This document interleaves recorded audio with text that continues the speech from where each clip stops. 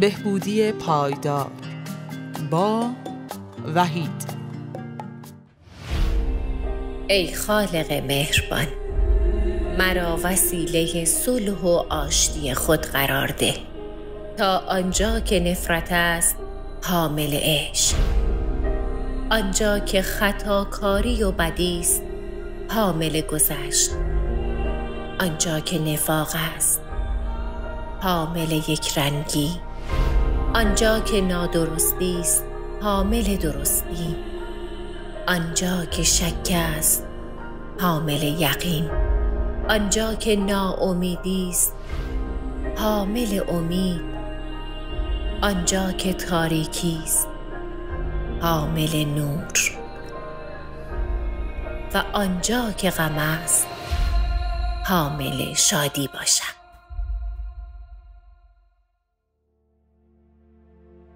پروردگارا. کمکم کن. تا به جای تسلا خواهی تسلا دهم. و به جای درک شدن درک کنم. زیرا پیدا شدن در گروه گم شدن است. با بخشیدن دیگران خود بخشوده می شویم و در مرگ حیات جاودان خواهیم یافت. آمین. سلام و عرض ادب و احترام دارم خدمت همه عزیزان و مخاطبین خوب برنامه رادیو آینه. سه شنبه دیگه اومد و مهمان منزل شما عزیزان هستیم. با برنامه دیگه از بهبودی پایدار. امیدوارم که حال دلتون خوب باشه و هفته ای سرشار از عشق و آرامش در زندگی شما عزیزان جاری باشه. طبق روال هفته های گذشته که از عزیزان خانواده بهبود یافته دعوت می‌کنیم برای توجیه مخاطبینی که هنوز در منزل و یا خارج از منزل با شخص بهبود یافته و یا شخص مصرف کننده در ارتباط هستند و ابزار و مهارت های لازم رو در خصوص این عزیزان یا ندارند یا ابزارشون به صورت خیلی محدود هست. لازم دونستیم که عزیزانی رو دعوت کنیم جهت توجیه و تجربه مهارت های خودشون در خصوص عزیزان همدرد که می‌تونه نقش مهمی داشته باشه چون ما همیشه عرض کردیم خانواده یک نقطه شروع خیلی خوبیه برای عزیز بهبود یافته و عزیز همدردی که هنوز در اون بیماری اعتیادش بوتور هست و حرف های دیگران برایش تکراری شده و فکر می‌کنه که دیگه به پایان راه رسیده. و تجربه گروهی ما نشون داده خانواده ها می‌تونن نقش موثری در بهبود فرد مصرف کننده و حتی فردی که بهبود پیدا کرده داشته باشن و مهارت های یاد بگیرن که بتونن اون فرد رو هدایت کنن به انجمن دوازده قدمی که اون هم در دنیای بهبودی وارد بشه و بتونه روزهای قشنگ رو ببینه. خب بیشتر از این وقت شما عزیزان رو نمی‌گیرم و از علی آقا خواهش کنم که با تنظیم وقت به حضار حاضر در استودیو وقت بده و خودشون رو معرفی کنم و تجربهشون رو برای عزیزان مخاطب و عزیزانی که در منزل هستن بتونن در میون بفرمایید آقا خب در خدمت مهمانان عزیز هستیم. اجازه بدید یه عرض ادبی داشته باشم خدمت شنوندگان عزیز. سلام و عرض ادب دارم خدمت شنوندگان خوب. فهیم رادیو آینه دوستداران بهبودی پایدار با وحید. خوشحالیم که امشب هم مهمان شما هستیم. ان که پذیرای ما باشید و یک جمع صمیمی خوب و با تجربه رو حاج دعوت کردیم که اگر دنبال بکنن ما رو به نتیجه خوبی می‌رسن. واقعا درد خانواده است و این خانواده ها جلسات نارنا النا ما رو حمایت می‌کنن و یه زوج موفقی هم داریم اینجا. خانم بودرزی و آقای چرخنده که خیلی تجربه خوبی رو می‌تونن داشته باشن چون خیلی اینا به ما کمک می‌کنه. ما هدف ما و بنیاد آینه مخصوصا داریوش اقبالی نازنین خیلی تاکید دارن که خانواده ها رو ما دعوت بکنیم و تجربه شما استفاده بکنیم. من می‌دونم همه چی رو. من شما رو کاملا می‌فهمم. همین مصیبت رو منم کشیدم می‌دونم. اما اگر که یه چیزی سوال می‌کنم این نیست که من متوجه نیستم.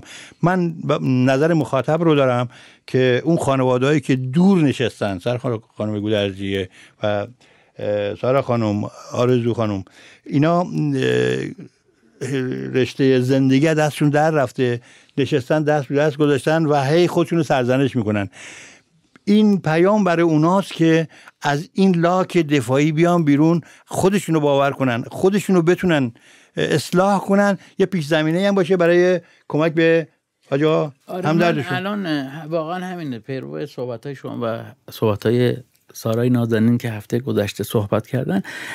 بذار اجازه بدین آجالی بریم روی بله. صحبت های محرک و موادهایی که متاسفانه این سرزمین رو فرا گرفته و خانواده خیلی فکر کنم بیشتر بتونه کمک بشه بله. منم نظرم همینه. سلام می‌کنم خدمت خانواده محترم. خوشحالم که یک هفته دیگه توفیق اینو داشتم که در خدمت دوستان عزیز باشم. من سارا هستم.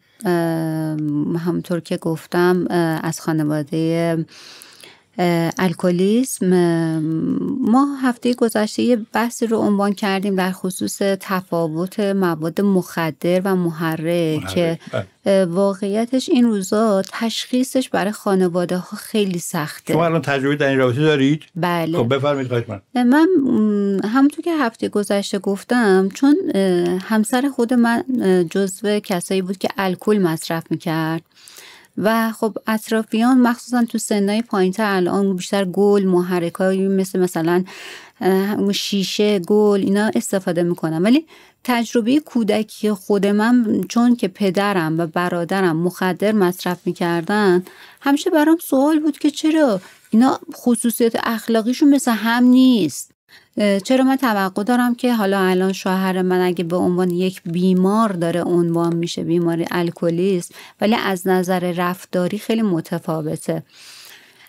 وقتی وارد برنامه الانان شدم وقتی شروع کردم به کار کرده قدم ها و سنت ها اولین کاری که کردم بر اینکه توی مسیر بهبودی بمونم راهنما به من گفت که خدمت بگیر. و من مفهوم خدمت رو نمی‌دونستم اصلا چیه.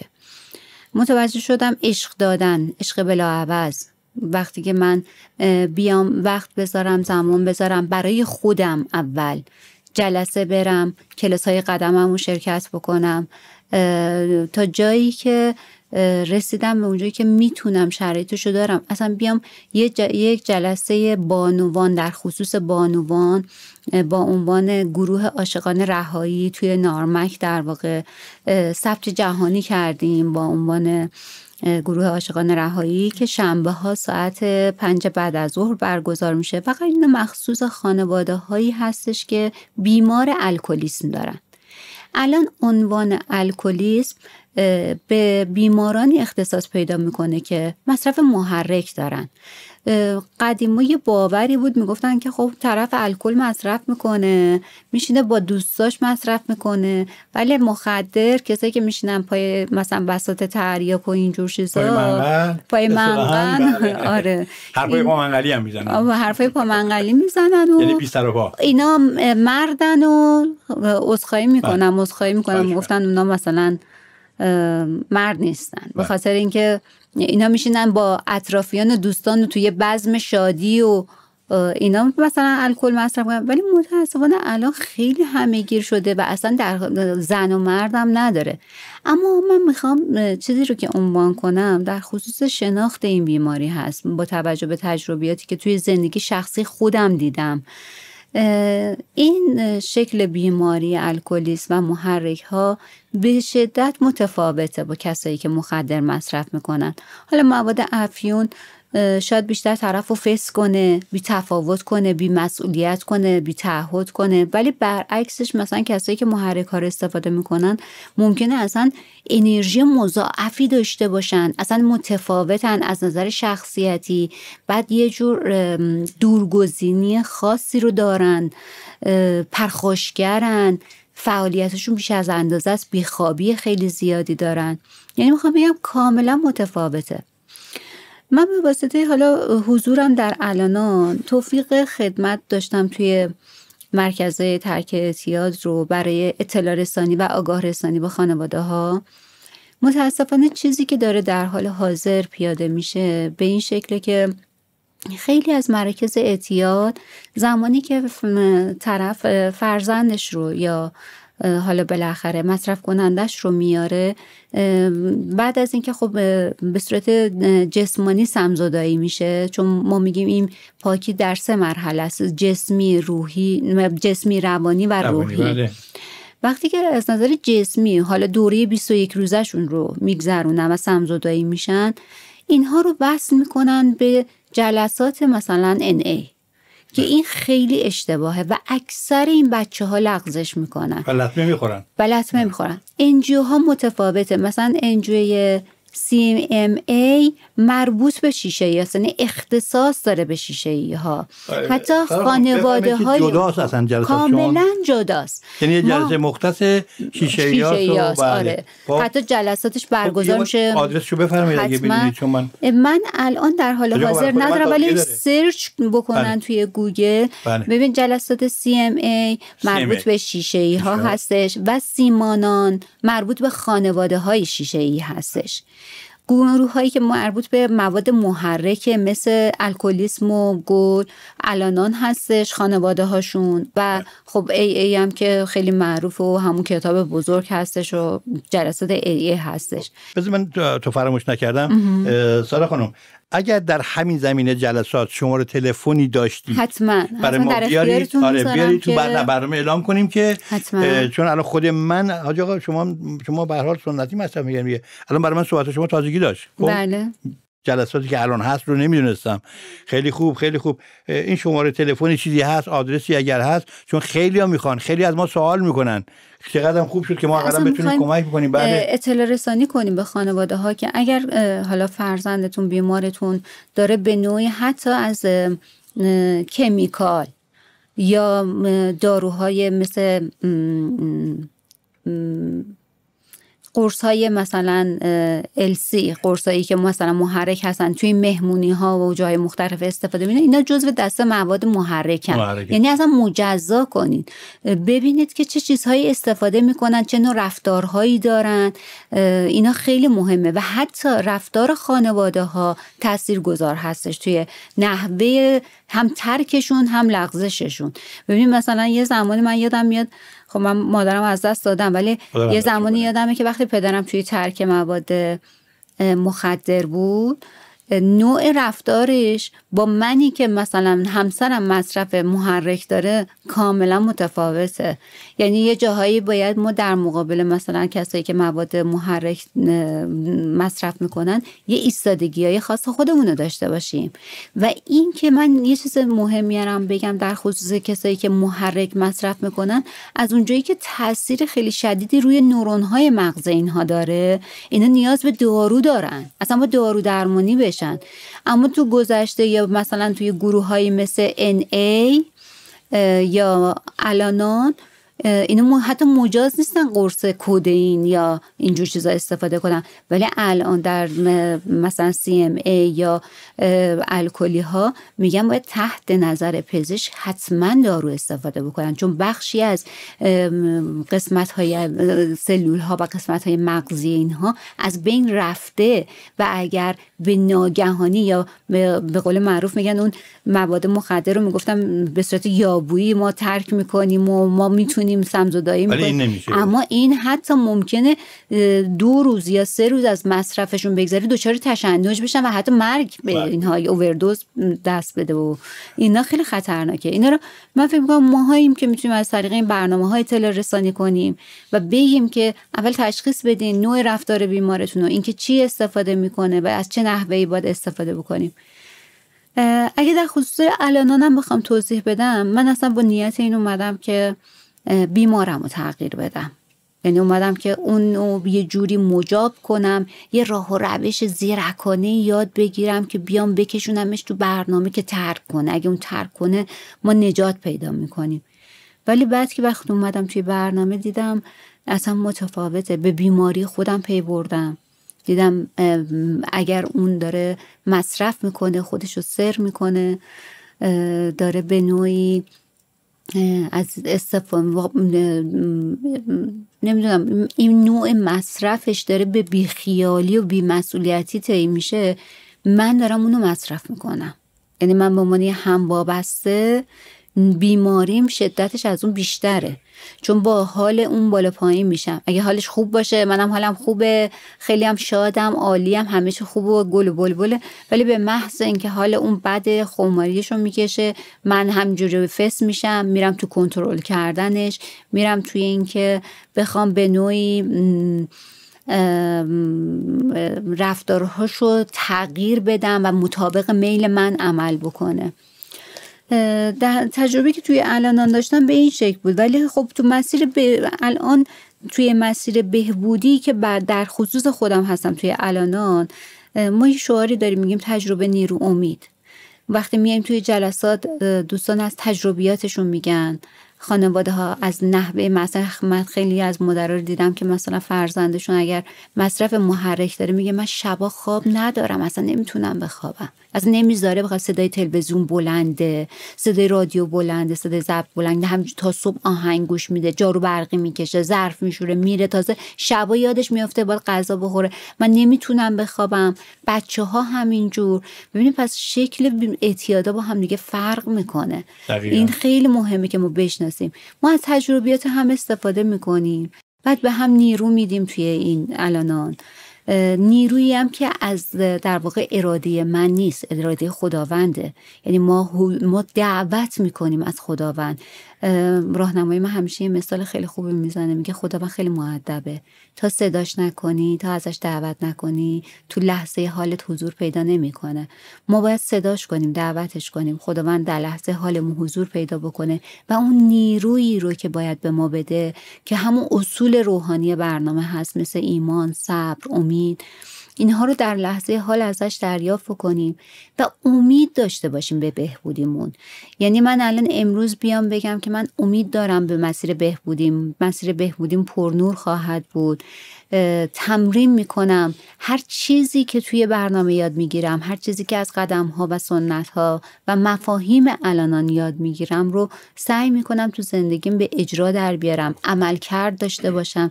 تا زمانی که بخوام تئوری فقط بخونم و یه روخونی بکنم و هر وقت حالم بده فقط زنگ بزنم به راهنمام.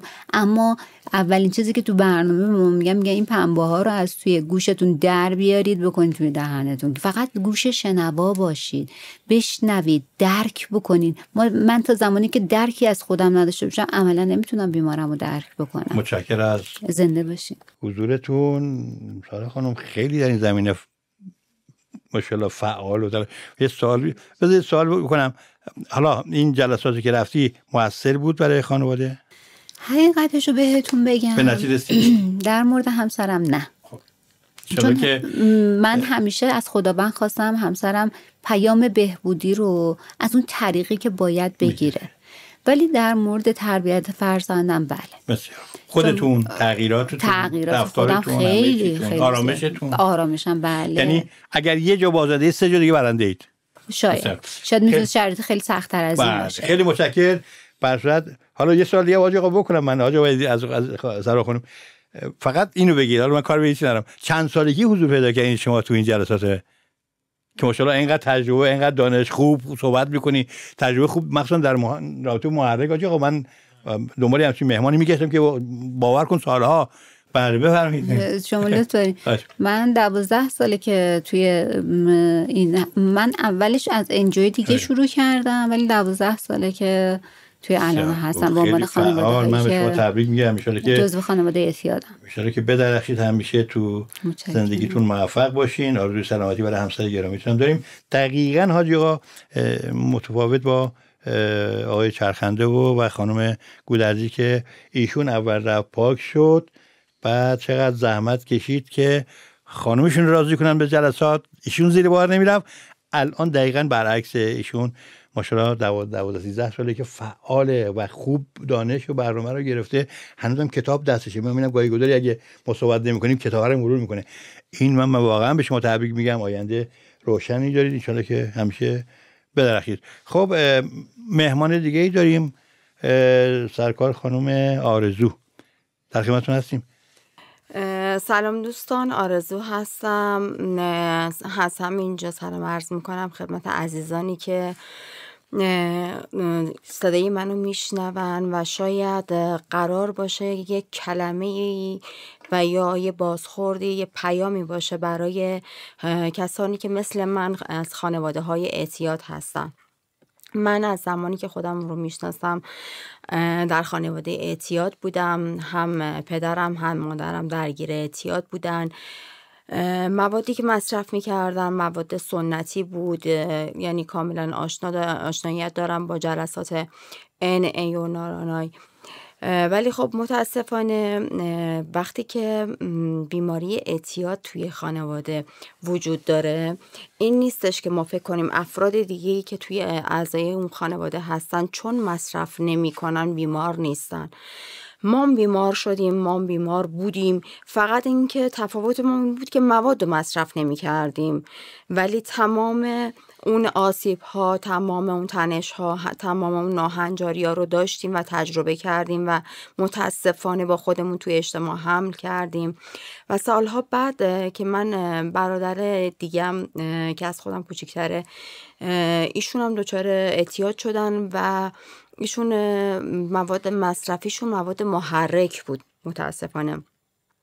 و البته از بیس الکل شروع کردن یعنی پایه الکل رو گذاشتن ولی بعدش دیگه مواد مصرفی که استفاده کردن شیشه بود که واقعا آسیب های بسیار زیادی ما خوردیم بابت این قضیه. من حتی زمانی که خوشبختانه من می‌تونم بگم البته میونه کلمه که حالا جمله رو گم نکنم و اینا. می‌تونم بگم من واقعا معجزه خداوند رو در ان ای دیدم لمسش کردم حضورش رو لمس کردم. چون من بارها و بارها سنم خیلی کم بود ولی سعی کرده بودم پدر مادرم و از این اسارت در بیارم. یعنی به هر طریقی که شده.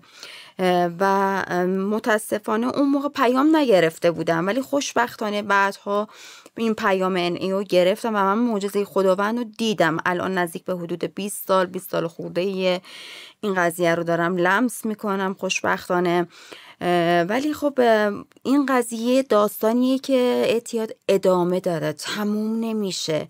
یعنی یه چیزی نیستش که بگی خب من الان یه مرضی رو گرفتم چهار تا قرص خوردم خب درمان شدم تموم شد و رفت. نه. فقط قطع مصرف شده. فقط مصرف قطع شده ولی اون بیماری کماکان همراه خانواده من و من هستش و وجود داره. پس من میام باید چیکار کنم؟ تنها کاری که می‌تونستم برای خودم بکنم این بود که اولا که بتونم بپذیرم که من از خانواده اعتیادم. که بتونم حداقل انجوهای دیگر شرکت بکنم بتونم با اینا به تعامل برسم. یعنی با خانواده ای که درگیر اعتیاده سه تا عضو اصلی خانواده درگیر اعتیاده دو تا سنتی یه آدمی که صنعتی که حتی شبا یه موقع چاقو زیر سرش میز مثلا بالشتش میذاش که بیاد یه موقع مثلا سر مادر منو بخواد مثلا ببره. فکر می‌کرد که مثلا حالا توی کانال نمی‌دونم کولر شنود گذاشته شده. تجربه های خیلی تلخی بود برای ما.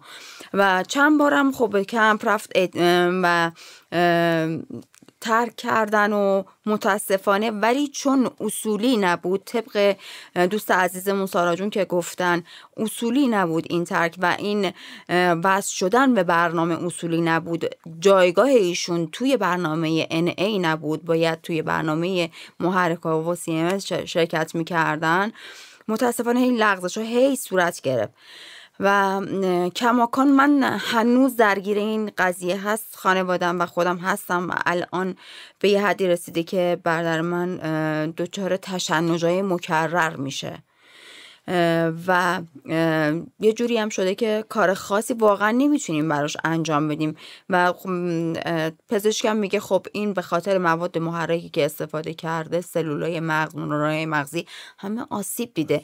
و قابل بازگشت و بازیافت و اینا هم نیستش که بگی به اینا برمیگرده و این آسیب ها جبران میشه. و تنها چیزی که بود برای شخص من تجربیات تلخی که داشتم این بود که خب حالا الان آرزو تو این شرایطی می‌خوای چی کار بکنی؟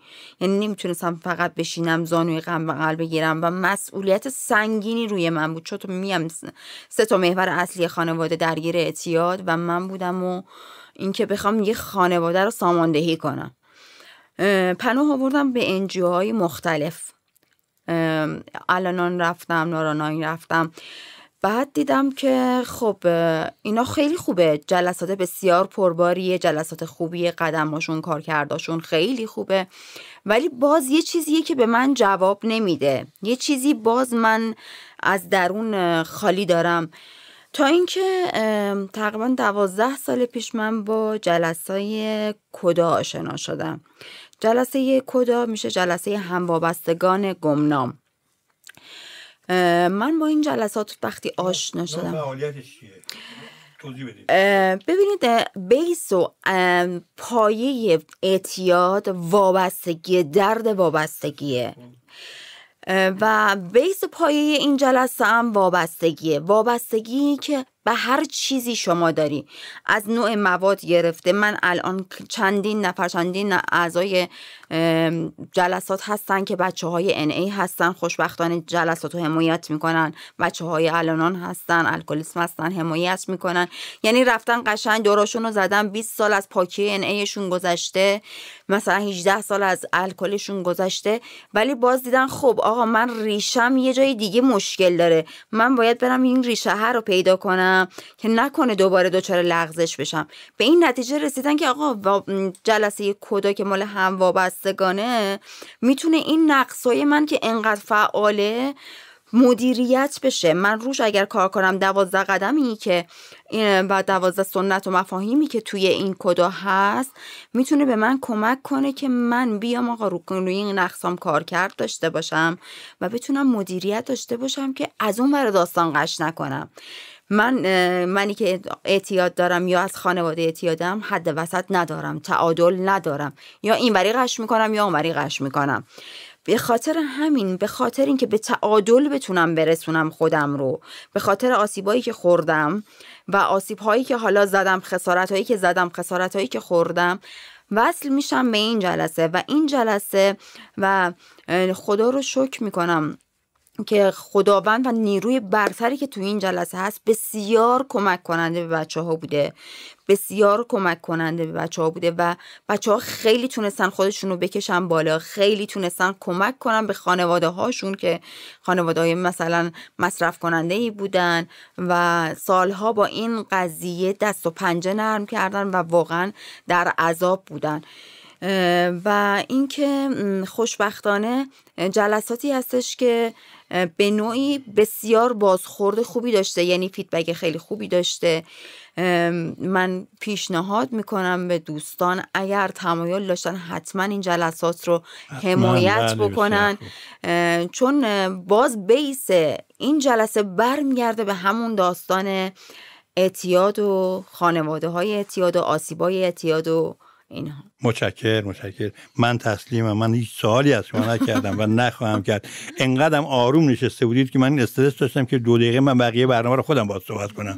خیلی ممنون خیلی ممنون. حاج آقا تو یه دقیقه تحلیلی دارین صحبتشون رو؟ برگردیم بعد حالا بگم. بفهمید خدمتتون ازت من احساس می‌کنم خانوادهایی که الان پای گیرنده هاشون هستن یه مطلبی یا الان از صحبت های خانم سارا و اصلا موضوع کافته شد. متوجه بله, بله, بله. ببین علی جان جلسات رفتن خانوم ها به این معنیه که برن بیماری خودشون رو بشناسن. الان خانم سارا اشاره کردن که همسرشون در حال مصرفن. درسته؟ هیچ کتام نمیاد آفرین. عزیزانی که دارن صحبت ها رو میشنون الان متوجه میشن اول باید خودشون شروع بله. کنن بله. استارت بزنن و دیگه سارا نمیاد با کلش پینگ پونگ بازی کنه اعصاب روانش رو برزه که یکی رو تغییر بده تغییر بده زندگی طرف کنه به خودش فرزنداش بله بله. زندگی برای خودش بله، داره بله. و مسیر رو داره میره من اگه دقت کردید جلسه قبل اشاره کردم به اینکه جلساتی که حالا نارونان بود. البته آی چرخنده اشاره کردن که ابتدای به ساکن که جلسات نارونان رو ما داشتیم راکارهایی می‌دادن که متاسفانه بعد یکی دو سال زندگی متزلزل می‌شد و جدا می‌شد. و خیلی جالب بود. گفتم اون دفعه قبلم عرض بله. کردم که وقتی یه خانمی من دیدم که گفت من به آرامش رسیدم گفتم دلیلش چیه؟ گفت راهنما گفت برو جدا شو. اگه ما جدایی اصلا به آرامش می‌رسیم. بعد اصلا برنامه خانواده ها این نیست که تو زندگی دیگران دخالت کنن. این نیستش آخه. راهکار اشتباه واقعا علی جان اینجا مرگ و زندگیه. من اگر که به قول معروف یه چیزی ازم سوال میشه باید انقدر شهامتش رو داشته باشم بگم نمی‌دونم. وقتی نمی‌دونم باید بگم نمی‌دونم دیگه راهکار اشتباه ندم این عزیزان که صحبت بکنن هدفشون اینه که ما تو یک مجموعه دور هم جمع میشیم و تجربه رو در اختیار هم می‌ذاریم. ما فقط پیشنهادیه. ما نمی‌تونیم نظرمون رو به کسی تحمیل کنیم. و نتیجهش هم اینه که خودشون به آرامش رسیدن. و الان حتما نمی‌خوان به قول معروف جنگ و دعوا را, را بنزنه قضیه ما که در دوران اعتیاد بله. که تو باید ترک کنی و این نیستش.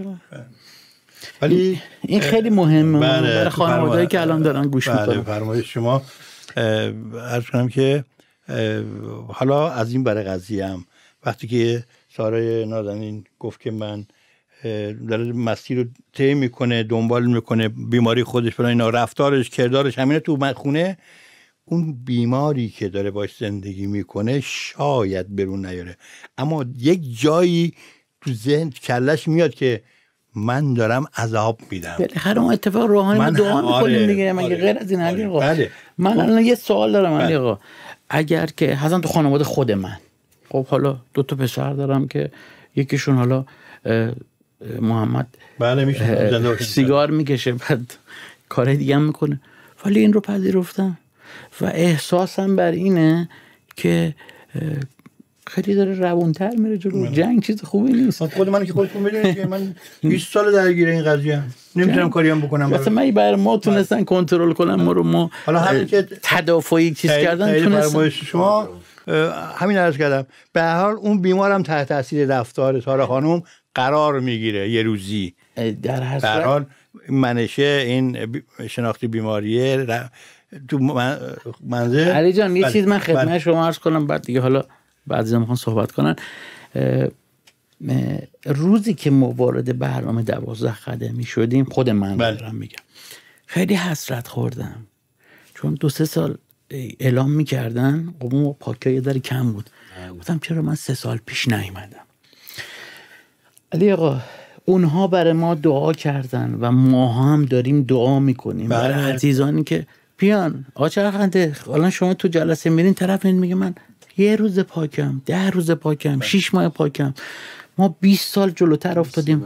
اون موقع برای ما دعا کردن. ما اومدیم بله. و ما هم دعا می‌کنیم و انشالله بتونن که هم عزیزان اتفاق بیان. بیفته. ما هم دعا می‌کنیم که یه روزی که سارا خانم با همسرشون تو برنامه ما شرکت کنن به عنوان یک دوست بهبودی. خیلی متشکرم از شما. خیلی ممنون از شما. آرزو خانم اجازه فرمایید میون برنامه بریم. برگردیم در خدمت دو تا دوست و زوج موفق خواهیم بود. خواهش می‌کنم. خدایا. افرادی که شادی در وجودشان موج می‌زند را در مسیر امروزم قرار ده. تا از آن منبع فیض بهرهمند شوم و از این ثروت رایگان به دیگران تقدیم نمایم و در این خیر سود روحانی آیدم فرما. نم و برای این نیاز درونی به سویش حرکت و از شادی استقبال نمایم. بخواه همان گونه که بارش باران طبیعت مرده را جان میبخشد. روح و جسمم با بارش شادی جانی دوباره گیرد. خب در خدمت آقای چرخنده هستیم دوست موفقمون که همراه با خانمشون تو برنامه ما شرکت کردن. ضمن خوش آمدگو به شما زوج محترم. اه، خواهش کنم خودتون رو معرفی بفرمایید. اون هفته هم اعلام کردید برای که حالا شاید شنونده الان برنامه ما رو بشنوه. بعد در خدمتتون هستیم. بفرمایید. من علیرضا هست. علیرضا چرخنده هستم. اه، هوشیاریم 19 سال و 12 روزه. مورفینمه. بله. 18 سال و 12 روزم نیکوتینمه تبریک میگم به شما. خب بفرمایید که ادامه صحبت هفته قبلمون که خود وقتون محدود بود برای شما. از اینی که شما همسرتون هم همپای شما جلسات نارونا. احساس آرامش دارید الان یا اصلا توصیهتون چیه برای کسی که صدای شما رو میشنوه؟ بله. ببین شرایط خیلی تغییر کرده. ایشون مکمل من شده تو زندگی. تو فراز و نشیب ها درک می‌کنیم همدیگه رو. نمی‌تونیم بگیم که به مطلق آرامش رسی. همچین چیزی وجود نداره. یعنی اگر من بگم نه. ولی به طور نسبی؟ به طور نسبی همه چی نسبیه. بله. تو فراز و نشیب ها یا اون اتفاق ها یا مثلا اگر که ایشون چیزی هم, من بخواد میگه. و تو آرشیپ من قرار می‌گیره و می‌دونه اگر که من شرایط داشته باشم انجام میدم. مگر شرایط نداشته باشم. خب قبلا اینجوری نبود. قبلا هر چی که می‌خواست همون درجا می‌خواست. ببینین؟ و منم اونم گوش نمی‌کردم. و الان متوجه شده. گوشم نمی‌کردی بی اعتمادی بله. بله بله بفرمایید. بیاعتمادی بود. اصلا الان بله. می‌دونه وقتی درخواستی هم من داره اگر شرایطش داشته انجام میدم. دیگه به زبونم نمیاره و می‌دونه من خودم انجام میدم. خب این خیلی قشنگتر شده. ولی اون موقع جنگه بود. من اگرم می‌خواستم انجام بدم می‌خواستم حمایت ناسالم کنم. برای فرار از واقعیت ها اون چیزی که می‌خواست اضافه ترم بهش می‌دادم. فقط کاری به من نداشته باشه. امرو اینجوری نیست که من دنبال این بگردم کاری به من نداشته اصلا من دنبال این میگردم به من کار داشته باشه. ببینین چون چرا که کار داشتم من, من متوجه شدم من امرو هستم. امرو وجود دارم. اینجوری نیست. قبلا من احساس وجود نمی کردم همه چی با پول می‌خواستم بخرم. ببینین؟ امرو دیگه من پول اضافه بابت هیچی نمیدم. آچرخنده یه چیزی تو ذهنم اومد. حالا با تجربه ای که حدود 20 سال در انجام دوازده خدمی داریم و همسر عزیزتون آیا بیمارم در منزل داریم شما؟ بله. من پسرم بیماره. پسر من بیماره مصرف کننده مشروبه الکلیسمه. بعد گلم مصرف می‌کنه. و من و همسرم الان خیلی راحت داریم باش کنار میایم. مثلا خب اون اعتماد قدیم نیست نسبت بهش. امرو خیلی حساب شده پول بهش میدیم. امرو اونجوری هم نیست بگیم که خیلی میگن پول تو جیبش نذار. ببینین ولی من من درخواست پول کنه مثلا اگه میگه یه میلیون من و مادرش با هم هماهنگ هستیم. یه میلیون دیویست تومن بهش میدیم. چرا که اگر من با تجربیاتی که دارم نسبت به خانواده و بیمارایی که مثل بچه خود من بوده با تجربیاتی که دارم میگم اگر من پول تو جیبش نذارم اتفاق خیلی خطرناکتر میفته. چقدر آجا این حالا صحبت داشته باش من یاد خاطر خودم افتادم.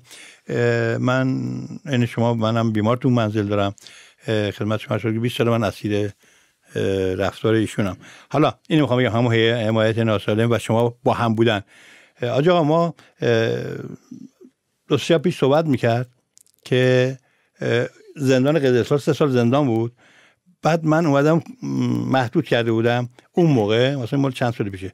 ما هفته پنجشنبه پنجشنبه 15 هزار تا فرض کنید به حساب ایشون که فقط سیگار بگیره. یعنی چیز دیگه پول نداشته اونجا مصرف بکنه.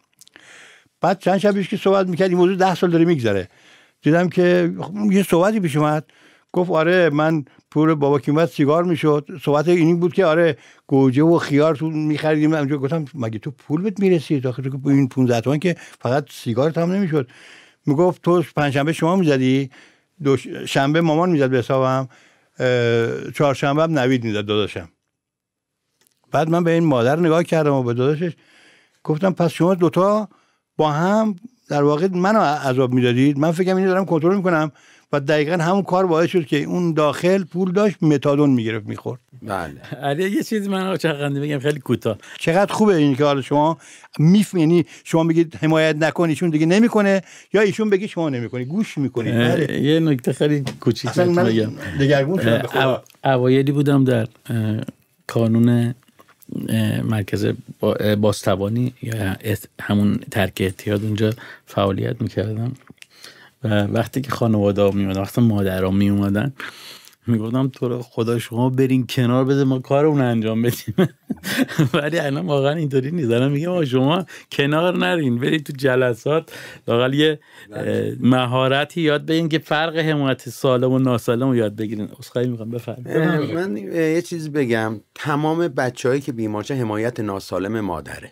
آفرین. ببینی عشقی که بابا عشق دادن خب خیلی مهمه. عشقی که بلد نباشید چیه خیلی مهمه. خب مادرها فکر می‌کنن دارن عشق میدن ولی دارن خیانت می‌کنن. من این مسئله رو یه زمانی فکر کنم 15 سال پیش تو شبکه سلامت گفتم. خیلی هم به من گفتن چرا میگی این حرفو؟ بعد به نتیجه رسیدم بابا بچه طرف مادر بیشتر خراب میشه. مادر فکر کنه داره عشق میده ولی این عشق نیست. این اسمش اسمش خیانته نسبت به بچه. من اگر بچه‌مو اون عشقی که میگم هر چی دلش می‌خواد بهش میدم. ببینین؟ مادر من اینجا نمیدم مادر اون یعنی تناب دارو میندازی گردنش دقیقا دقیقا. ما این مشکل رو من می‌تونم بگم حتی من همسرم چون نارانایی قوی هم هستش. بازم این مشکل رو تا چند سال پیش داشتیم. مثلا من پسرم با خودم کار می‌کرد. من شغلم خب یه شغل بله. پول دراره کار خوبیه. بعد این بچه ما هم کار می‌کرد. تو 20 سالگی 18 سالگی یو بسش ماشین بخریم. گفتم نخر. گفتم ماشین نخر. این حمایت رو نکنیم. گفتم نه بچم پول درار شده. حالا ایشون خودشم بچه من پول پیدا کنه خیلی عالیه. حمایت. یعنی بازم... شنا بلد نبود مینداخته تو 4 متری. می‌گفتم ببین این بچه که می‌بینی الان دا فکر می‌کنی داره پول در میاره کنار من داره در میاره. به تنهایی ولج کنی بلد نی پول دراره ببینید چون من چون تجربه که داشتم مثلا اگر که تو فروشش ضرر می‌زد می‌گفتم اپ نداره. ببین تو شیوه کار خودم می‌گفتم این باید ترسش بریزه. ببینی؟ ولی مادر اینجوری نبود. می‌گفت بچم پول پیدا اونم داشت عشق می‌داد. رفت واسه ماشین صفر خرید. یا ماشین موتور سنگین خرید. موتور سنگینش رو تو مشروب خوری ازش دزدیدن. ببین یه ان اس واسش خریدن اون موقع گر... اون موقع 34 میلیون بود خریدیم. دزدیدن تیبا خرید. تیبا رو ظرف دو سه سال خرید من الان جرئت ندارم ماشینمو عوض کنم. ببینین. یا الان یه موتور داره دوباره رفته یه موتور دیگه خریده 200 میلیون. الان دیگه این حمایت متوجه شد. همسر من به آگاهیش رسید که بابا ما اگر دست تو دست هم دیگه نذاریم این بچه هی می‌خواد داغ الانم مثلا اگر میاد پیش من کار می‌کنه فقط اون سودی که می‌گیره من می‌گیره منم بهش میدم. میدم. میگم بهتر از اینه که بره کارهای دیگه بکنه. بله بله درست این الان ما خیلی ها تو همین ان ای داریم میگن آقا پول تو جیبش نذار.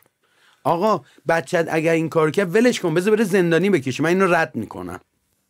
اگر یادتون باشه اوایل می‌گفتن بیرون کنی بیرون کن. میاد؟ آره. چرخنده؟ آره بیرون کنی. مثلا همسر من میگه اینو ببر ترکش بده میگم نه همچی کاری من نمی‌کنم. تجربهش رو دارم من مرکز سمزدایی داشتم. من می‌دونم اگر با این بره با ده تا مواد دیگه برمیگرده. استاد میشه بله. ببین استاد میشه. این آ... به هر حال این هوشیاری ما خانواده متش- باید پیدا کنن خیلی متشکرم. خواهش ممنون. از تجربتون هست صحبت رو قطع کردم. وقتی ما کمه. اه، سرکار خانم سارا می‌خوان جمله رو بفرمایید بعد در خدمتتون هستیم. بفرمایید خواهش کنم خیلی ممنونم که به من فرصت دادین. پیروی صحبت آقای چرخنده خواستم یه موضوعی رو بگم. خب ما دچار یه تناقضی هستیم توی جامعه فعلیمون و این هستش که خب تو دهه های گذشته سیستم زندگیمون خیلی مرد سالاری بوده ولی الان خانواده ها بیشتر بر محوریت زن هستش. من واقعا پیشنهاد می‌کنم و دعوت می‌کنم از مادرها و خانوم ها که واقعا این جلسات رو حمایت بکنن به خاطر اون آگاهی که داشت به دست میارن توی جلسات و مسئله خودشناسی که پیدا می‌کنن و ارزشمند بودن خودشون رو پیدا می‌کنن. چقدر مهمه که ما در لحظه چه نوع رفتار و عمل کردی داریم. و در واقع می‌دونیم یاد بگیریم که با بیمارمون چه وقت حمایت سالم داشته باشیم چه وقت چه وقت ناسالم باشه.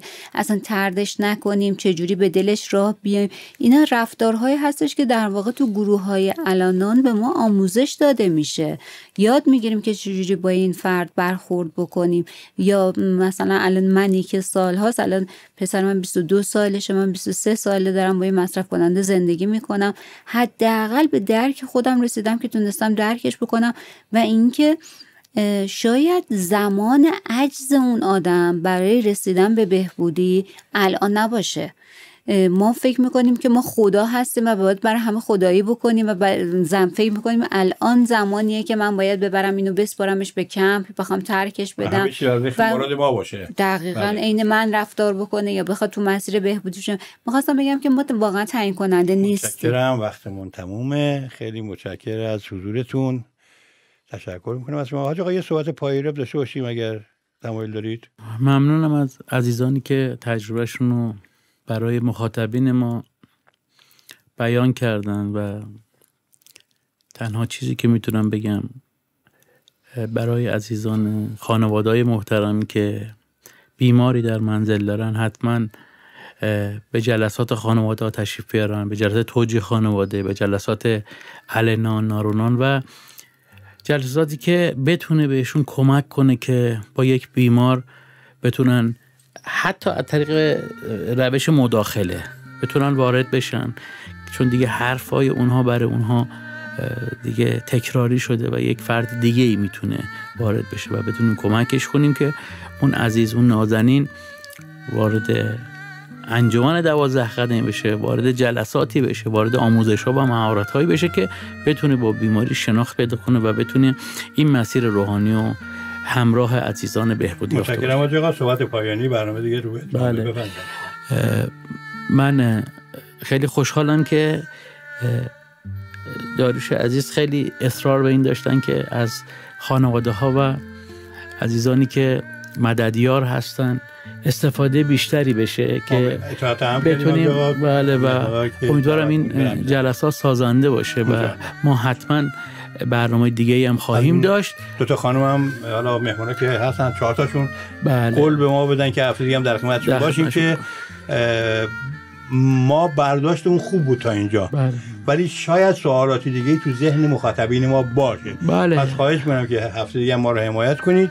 بتونیم که منظور رو برسونیم به بله. واقعا ایشالله اه، هر نظری پیشنهادی سوالی دارین می‌تونین با آینه در ارتباط باشین از طریق بنیاد آینه می‌تونین سوالاتون رو با ایمیل مطرح کنین و ما هم تا اونجا که بتونیم در خدمتتون هستیم. به امید روزهای خوب تا هفته آینده شما عزیزان رو به خداوند بزرگ میسپارم. خداوند یار و نگهدار شما باشه. خداوندا قسم بر پاک بازان. بلند آوازگان و سرفرازان. مرا مرا زین خودپرستی ها رها کن. چنان اندیشه ای بر من عطا کن که تقدیری که از آن ناگزیرم توانم جبر و قهرش را پذیرم.